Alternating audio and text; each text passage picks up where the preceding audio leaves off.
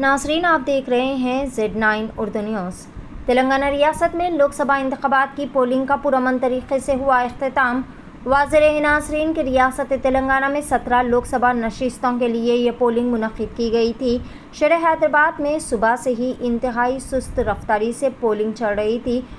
किसी भी polling booth पर आवाम का भारी हजूम या फिर लंबी लंबी कतारें देखने को नहीं मिली। पोलिंग परसेंटेज को बढ़ाने के लिए कई सारे इलाक़ों में सियासी जमातों के कारकुनान और इलाक़ों के ज़िम्मेदारान घर घर जाकर लोगों को दस्तक देकर इन्हें पोलिंग मराकज़ पर ला रहे थे और वोट डालने के लिए दावत दे रहे थे और अपने कीमती वोट को इस्तेमाल करने की गुजारिश कर रहे थे।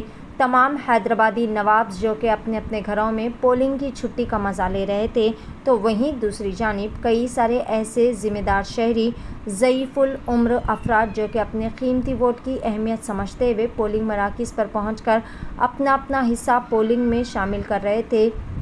आप ये जो नज़ारा देख रहे हैं, वो नामपली असम्बली हल्के के तहत फसलानसर के इलाके में गवर्नमेंट हाई स्कूल में मनदा पोलिंग बूथ का है, जहाँ पर नामपली एमएलए मोहम्मद माजिद हुसैन ने अपने अफराद ख़ानदान और अपने ज़यफ़ुलमर वालिद को व्हील चेयर पर बिठाकर वोट का इस्तेमाल करने के लिए पहुँचे।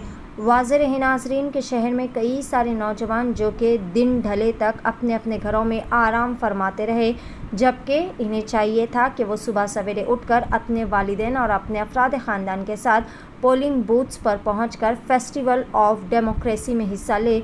मोहम्मद माजिद हुसैन ने अपनी काफ़ी सारी मसरूफियात के बावजूद भी एक ज़िम्मेदार व फरमाबरदार औलाद होने का फरीज़ा निभाते हुए ख़ुद शख्सी तौर पर अपने वालिद के हमरा इन्हें व्हील चेयर पर बिठाकर और फिर ख़ुद सहारा देते हुए काफ़ी दूर तक ऐसे ही चलते रहे और फिर पोलिंग बूथ पर पहुंचकर अपने अपने कीमती वोट का इस्तेमाल किया। यहाँ पर यह बात भी काबिल ज़िक्र रहे कि आजकल की नौजवान नस्ल जो कि चार पैसे कमाते ही अपने ज़यीफ़ माँ बाप को भूल जाते हैं और इनकी खिदमत में शर्मिंदगी महसूस करते हैं तो वहीं दूसरी जानब M L A Mohammed Majid Hussain जो कि नाम नहीं, बल्कि एक ब्रांड है। इनके पास इज़्ज़त है, शहरत है, पैसा है, विखार है।